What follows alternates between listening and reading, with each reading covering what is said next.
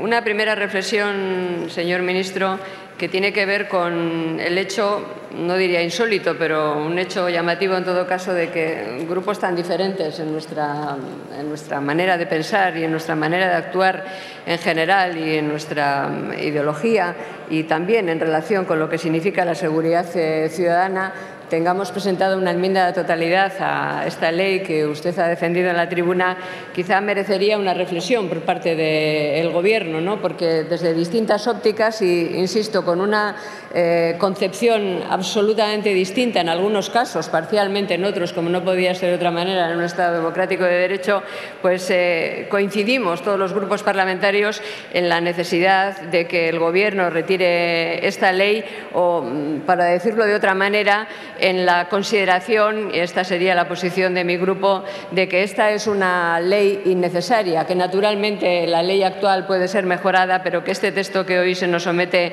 eh, a consideración y sobre el que hemos hecho todas estas enmiendas de totalidad eh, sigue siendo, a pesar de todas las modificaciones y de todas las rectificaciones que el ministro ha explicado detalladamente mm, y que se han producido desde que conocimos el anteproyecto, sigue siendo, a nuestro juicio, una ley eh, innecesaria. Yo creo que es un, es un ejercicio, es un ejemplo de, que, eh, de hasta qué punto eh, el, Ejecutivo en, este, en esta materia le trae al legislador un trabajo eh, que no solamente no es necesario para resolver los problemas de los ciudadanos, sino que genera problemas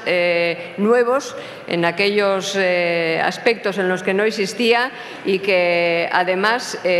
parte de una, de una perspectiva sobre la que quiero dedicar a la que quiero dedicarme, que es eh, afirmar que no existen instrumentos para garantizar la seguridad. Eh, yo creo que no se puede afirmar eso. Naturalmente los instrumentos son mejorables. El equilibrio entre seguridad y libertad de que el ministro ha hablado es un equilibrio que desde luego a esta portavoz le parece imprescindible. Eh, la policía, los cuerpos de seguridad no son nuestros enemigos, al contrario, son los garantes de las libertades, entre otros, y ese equilibrio es un equilibrio a perseguir y un equilibrio necesario, pero esta ley recorta derechos y elimina garantías. Esta es la conclusión a la, que lleva, a la que llega nuestro grupo parlamentario, a pesar de todas las modificaciones que ha sufrido desde el anteproyecto. Insisto, recorta derechos y elimina garantías. Y cuando recorta derechos y elimina garantías para el conjunto de los ciudadanos, también recorta derechos y elimina garantías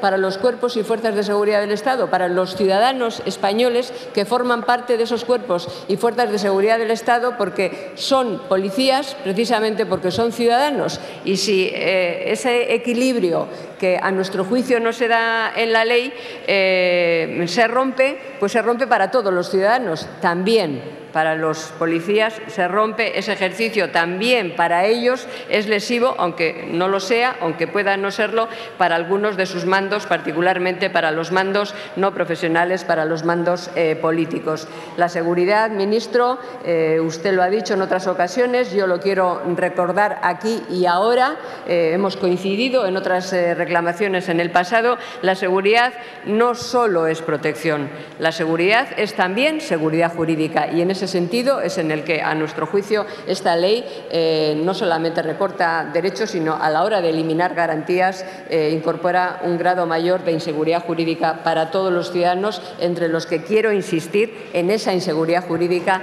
se ven inmersos también los miembros de los cuerpos y fuerzas de seguridad del Estado. Como decía, aun habiendo corregido y moderado muchas de las desmesuras del anteproyecto previo, usted las ha citado, por tanto no tengo que insistir en ellas, el proyecto de ley que nos ocupa sigue resultando equivocado en cuanto a su concepción y dañino para el sistema de libertades que garantiza y protege nuestra Constitución.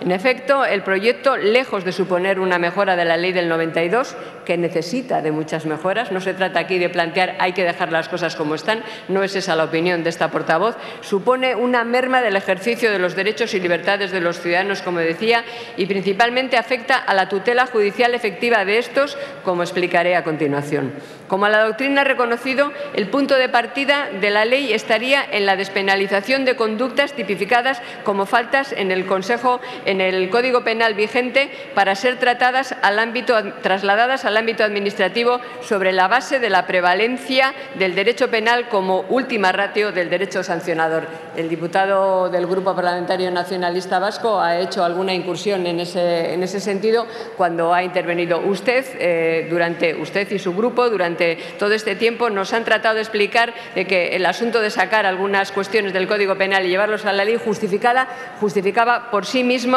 este, este nuevo texto. Sin embargo, esa despenalización penal solo sería válida si las conductas despenalizadas y trasladadas al ámbito administrativo fuesen sancionadas aquí y ahora en forma más leve. No es eso lo que ocurre. Las sanciones que se prevén en el proyecto de ley de seguridad ciudadana que estamos debatiendo parten de 100 euros y llegan hasta 600.000 euros, con un promedio de 300.000 euros. Quiebra, pues, claramente el principio de proporcionalidad al que el proyecto falsamente dice atender, porque realmente en lo que se incurre es en una manifiesta arbitrariedad, cuya interdicción está ordenada por el artículo 9.3 de nuestra Constitución.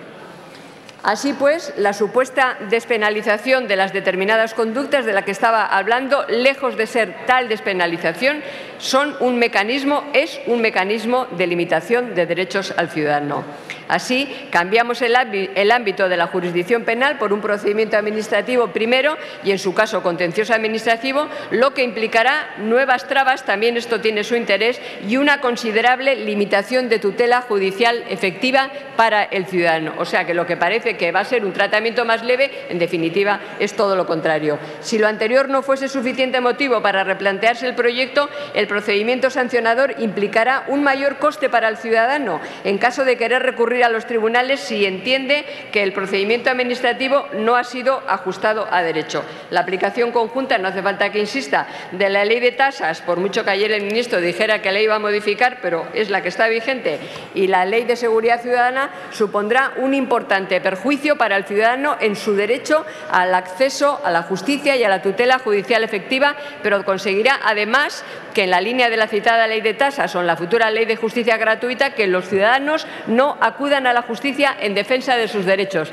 ¿De qué se trata, pues? ¿De que los ciudadanos desistan a defender sus derechos? Porque la aplicación conjunta de estas tres normas que acabo de citar tendrá ese efecto, que los ciudadanos no litigarán porque no podrán hacerlo y, por tanto, renunciarán a un derecho que es la tutela efectiva. Además de lo anterior, el catálogo de infracciones, que es uno de los mayores,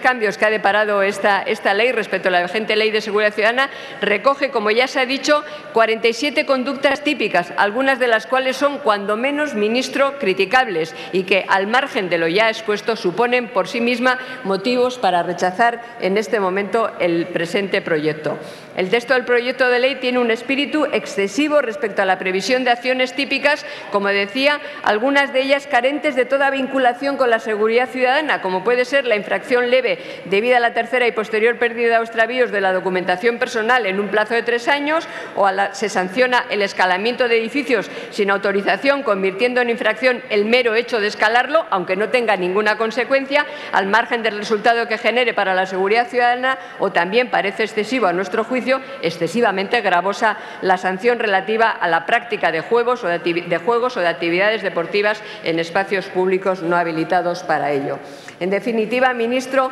aunque se han cambiado muchas cosas desde que conocimos el anteproyecto, los varios anteproyectos que hemos ido conociendo, aunque no se publicaba ninguno de ellos, aunque también el Ministerio del Interior ha atendido, aparte de lo que era obligado de los informes que usted ha mencionado, ha atendido, ha atendido algunas recomendaciones, por ejemplo, de Amnistía Internacional, eh, como por ejemplo incluir de manera expresa el principio de no discriminación en las identificaciones por parte de la policía o que la disolución de la reunión sea la última medida a tomar en las manifestaciones pacíficas, a pesar de todas estas modificaciones, entendemos que esta reforma sigue siendo un paso en la dirección equivocada y se aleja de los estándares internacionales. Por todo eso, ministro, terminando como, como empecé mi intervención,